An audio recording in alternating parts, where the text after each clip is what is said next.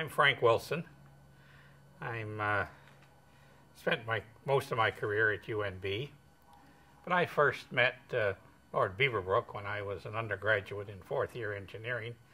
One Friday afternoon in the fall, when uh, he came into the old library, and I was sitting in the reading room, and uh, by chance I was the only student there, and he came in with Dr. Gertrude Gunn as soon as I saw him come through the door, I realized who he was, so I stood up.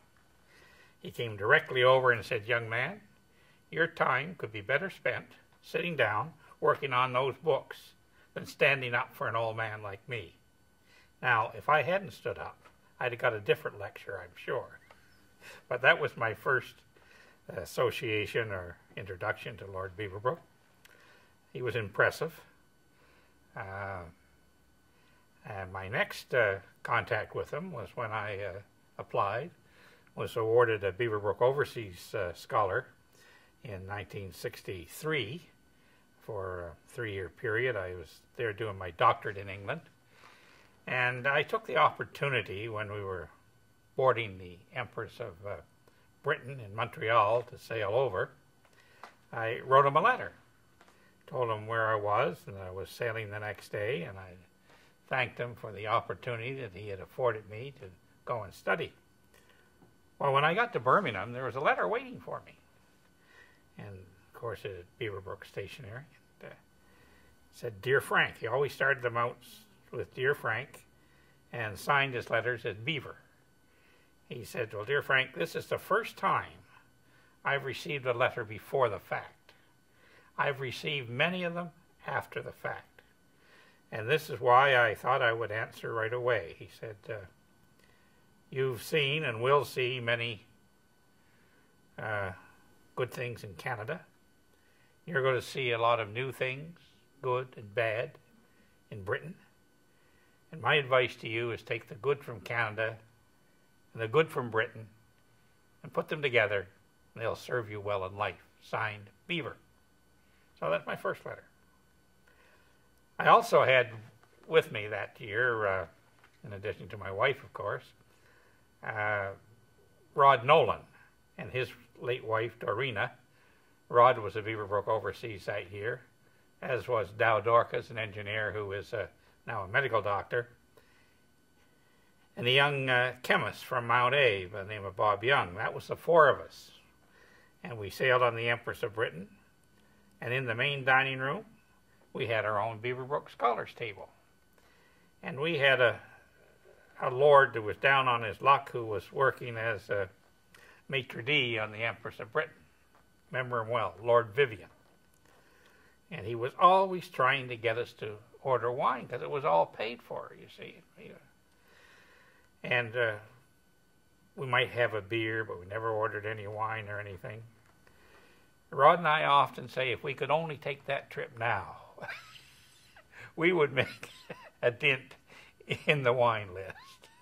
But in those days, we were young and didn't appreciate wine, and all we cost Beaver was a few beer. Well, when I got there, uh, Beaverbrook had a, a very gracious program at Christmas. He gave us a special stipend, and it was designed to tour England, Britain. He wanted us to go at Christmas and see something about Britain. And it was quite a generous uh, bequest. He gave my wife a stipend as well. And uh, anyway, we had a my wife had a cousin in uh, Edinburgh, so we went to Edinburgh for Christmas and uh, and New Year's. And saw Hogmanay there, and when I came back, I wrote Beaverbrook and thanked him for the stipend to go and told him exactly what I had done. Well, Rod Nolan and Dow Dorcas and Dorina, they went skiing in Switzerland. They didn't go to Britain. And uh, I got a letter. Dear Frank, thank you for the letter. I'm very pleased you spent the stipend the way I intended it, seeing something in the United Kingdom. Some of your friends, I understand, went to Europe skiing. Your stipend will be doubled next year, signed Beaver. Now, to this day, Rod Nolan thinks I sold him down the drain. what happened? There was an old banker at Coutts and Company who looked after Beaverbrook's accounts, and he traced every check, and he traced the boys were cashing them in Switzerland, and he relayed that on to Beaver. So I got the, the letter with the double one. And uh, my last letter, or some in between there, was not long before he died, actually. And I had taken a job at the University of Maine to come back to teach there. So I wrote and told Beaver. I got a very brief letter back. Dear Frank, I did not to send you to England to get an education to go to the United States. I trust you will soon return to Canada. Signed Beaver. And that was my last communication with him. He died while we were there, and uh, and uh, but it was a great experience to uh, to have those contacts with him.